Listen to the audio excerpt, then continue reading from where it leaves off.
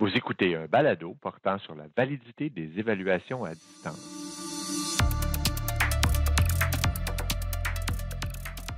Cet épisode porte sur les créations originales.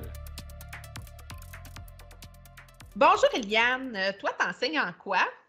J'enseigne en ECR de secondaire 2 et euh, secondaire 1. Puis euh, j'aimerais savoir, toi, dans le fond, tu as eu de l'enseignement en ligne, ben, de quelle façon tu as favorisé la validité des évaluations à distance? Euh, ben, en fait, euh, première des choses, c'est que moi, j'ai voulu euh, donc impliquer davantage les élèves dans leur processus d'évaluation. Euh, donc, j'ai euh, voulu leur laisser quand même une certaine marge de manœuvre pour laisser aller leur euh, créativité. Euh, donc, c'est certain qu'en ECR, peut-être qu'on a plus de flexibilité par rapport euh, aux différents thèmes euh, qui sont à voir. Donc, on a des thèmes, par exemple, qui touchent la liberté d'expression, le bien-être commun. Donc, j'ai décidé de prendre les réseaux sociaux comme angle d'entrée. Hein, on sait que les jeunes, au niveau des réseaux sociaux, ça fait partie de notre quotidien, euh, que de plus en plus de jeunes qui ont accès à des plateformes. Donc, mon objectif, en fait, c'était de présenter l'envers des réseaux sociaux. Donc, euh, que les élèves puissent voir les conséquences euh, des réseaux sociaux et euh, de pouvoir justement sensibiliser les jeunes du primaire sur leurs impacts et un peu la, consommation de, toutes ces plateformes très populaires.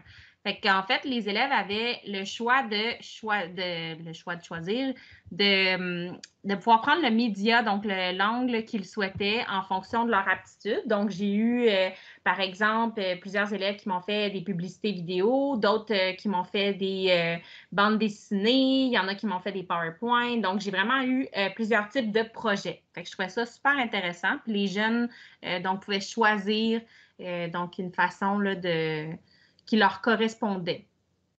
Puis euh, d'après toi, c'était quoi les avantages puis les inconvénients en lien avec la validité des évaluations? Eh bien, en fait, euh, c'est sûr qu'au niveau des avantages, ben, je pense que les élèves étaient euh, très impliqués dans leurs projets. J'ai vraiment eu des projets super extraordinaires qui sont très différents peut-être de, de l'habitude en classe. Euh, donc, euh, ils ont eu euh, justement là, la place pour euh, laisser aller leur créativité. Euh, puis en fait, c'était comme justement de réinvestir aussi la matière vue en classe. Donc, euh, c'est sûr qu'on avait vu des notions de valeur, de limite, de savoir-vivre. On avait vu toutes finalement les contraintes. On avait vu les avantages et désavantages des plateformes euh, également que les jeunes utilisent. Donc, c'était quand même super pertinent, mais c'était moins dans le dans l'aspect théorique. Au niveau des désavantages, ben, c'est certain que tout projet d'équipe, euh, c'est toujours difficile euh, d'évaluer la participation euh, de tous les membres. Est-ce que chacun a mis du temps et des efforts de façon équitable? Ça reste un peu le, bémol. Euh, puis ce que j'ai eu un peu aussi comme problématique, c'est que des fois, les dossiers étaient trop volumineux pour que les élèves me l'envoient par team. Donc, au niveau de la remise des travaux, des fois, ça a été un peu problématique. Euh, moi, j'avais créé un document euh, de consignes dans un devoir sur Team.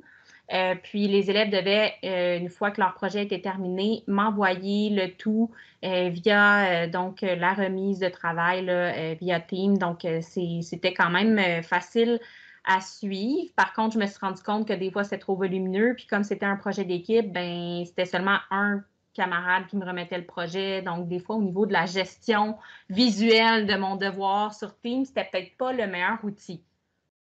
C'est super. Fait que dans le fond, toi, tu as privilégié les créations originales avec les élèves, puis ils ont choisi vraiment le média qu'ils préféraient pour, euh, pour créer leur, euh, leurs travaux, dans le fond. Oui, exactement. Puis euh, c'est certain que oui, on peut rencontrer certains défis. Euh, c'est certain que j'ai eu des élèves qui étaient retardataires, comme d'habitude. Donc, au niveau de la remise de team, j'avais permis la remise tardive. Donc, ça me mentionnait justement à quel moment l'élève le remettait. Donc, c'est sûr que je pouvais faire un suivi avec eux. Puis, c'est certain qu'au niveau de la correction, euh, ça a été un petit peu plus euh, ardu parce que c'est certain que j'avais différents types de projets. Donc, des fois, j'avais des projets vidéo, des fois, j'avais des, des images photographiées, des fois, j'avais des formats PowerPoint, des formats Word. Donc, c'est sûr que ça me demandait une certaine souplesse. Mais euh, j'ai finalement décidé d'utiliser OneNote. euh, à la fin pour ma correction, je m'étais fait une grille d'évaluation, puis j'ai pu justement donc, garder des traces, puis même les ajouter dans mes blocs-notes de classe. je te remercie beaucoup, Eliane, de ton expérience. Cette entrevue avec Eliane Ouellette, enseignante secondaire, a été conduite par Nathalie Cormier, toutes deux du Centre de service scolaire des Sommets. La bande sonore est Smart Tech de Scott Holmes sur Free Music Archive.